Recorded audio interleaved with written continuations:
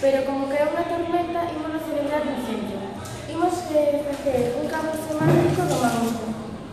A mí tocoume a palabra Magosto, comida que consiste fundamentalmente en comer castañas asadas, polo xeral acompañadas de viño. Como por exemplo Fausto Galdo, no, no libro Abecedario das Mantenzas. Son datas de encher a adega para o inverno con viño novo e carnes salgadas, pendurar o xamón, a fumar castañas, que os magostos xa están aí.